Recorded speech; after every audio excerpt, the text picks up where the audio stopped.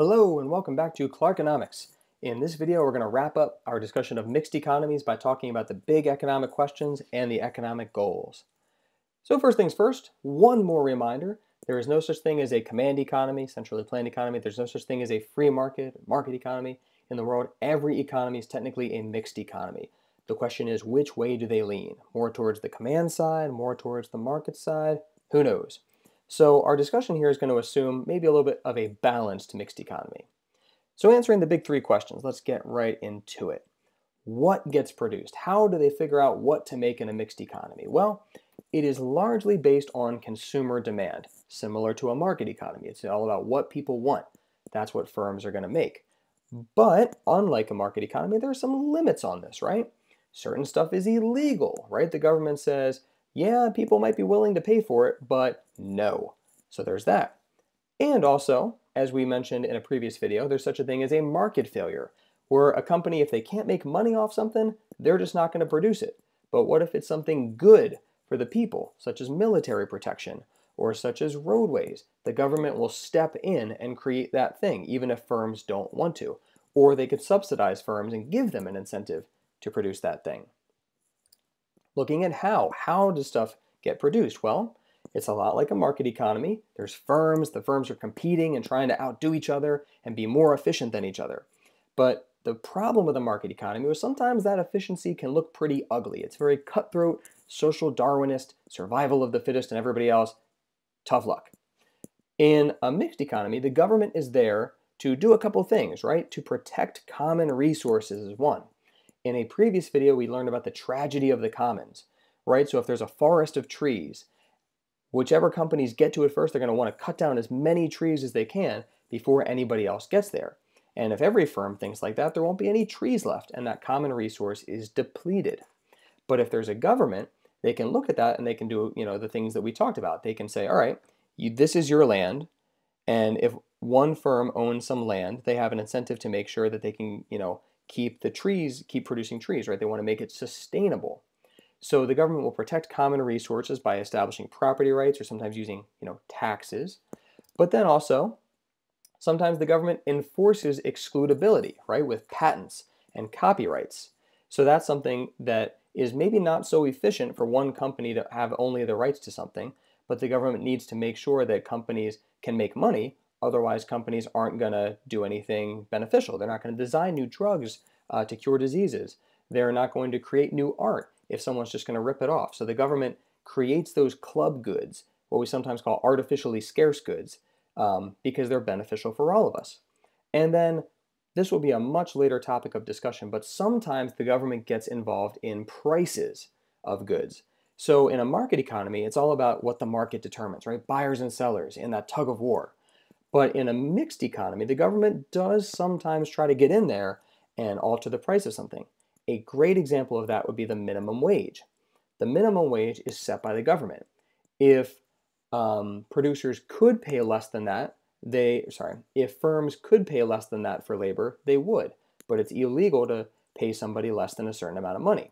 So the minimum wage, which that little picture there is um, from people who want make to make $15 an hour the minimum wage, that is an example of the government getting involved in the production process.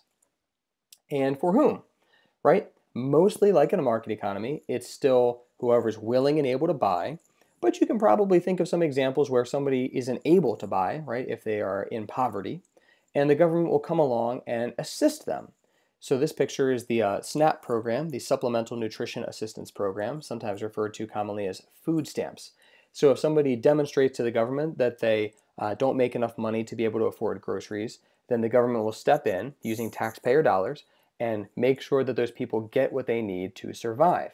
So, you know, it's part who's willing and able, but if you need it, the government might be able to provide it to you, which would not be the case in a market economy, a pure market economy. So that's how mixed economies, relatively balanced ones anyway, answer the big three questions. Getting to the goals.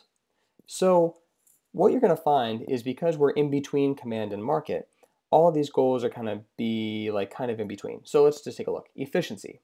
Are mixed economies efficient? Well, yeah. They're more efficient than command economies because there's some competition, um, there's some entrepreneurship, but they're not going to be as efficient as market economies because a minimum wage is inefficient. That's not to say that it's bad, but it might be inefficient. To, you know, it's more efficient for companies to pay people like next to nothing, but the government in a mixed economy might not let them. Growth.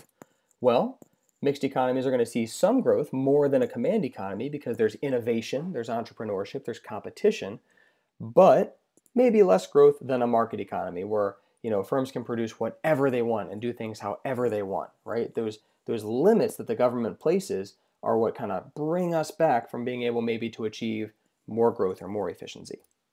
Freedom. Well, this one's splitting the difference here, right? In a mixed economy, you have more freedom than in a command economy, but obviously less than in a market. No further explanation required. Equity, meaning fairness, totally depends, um, you know, but in a mixed economy, people are going to always debate how equitable things are. Like, is the government doing too much? Is the government doing too little? Should we have billionaires? Should we have people starving to death, right? This is the kind of stuff, these debates about fairness that get talked about in a mixed economy. Our political parties are partly based around this question how much should the government do in our lives? That's an example of something that people debate in terms of economic systems. Security. Well, um, there's less security than in a command economy, right? In a command economy, the government provided things for the people, even if they couldn't, like, quote unquote, afford to pay them. Um, but there's more security than in a market economy. In a market economy, if you aren't productive, then you don't get stuff, you don't get paid. But in a mixed economy where the government does provide a little bit of a safety net, uh, well, you're going to have more security. You're not just out on your own. The government might have your back. And then finally, stability. Um, mixed economies are more stable than command economies. Because remember, with a command economy, the government's suppressing the people um, and making really inefficient decisions. And that might work for a little bit, but it can't go on forever. But it's also a mixed economy more stable than a market economy because a market economy goes wherever firms and consumers take it. Everyone's just doing what's best for themselves. And that's not necessarily going to lead to a very good place. So, at least with a mixed economy, you have a government that can see the big picture and is interested in kind of, you know, putting bumpers on if we're talking about like a bowling alley, right? To keep the ball out of the gutter to make sure that the economy is not veering too sharply in one direction or the other direction. They want to keep things on track. And so eventually when we talk about fiscal policy and monetary policy, we'll see some ways that the government tries to keep the economy on track. So, thank you for watching.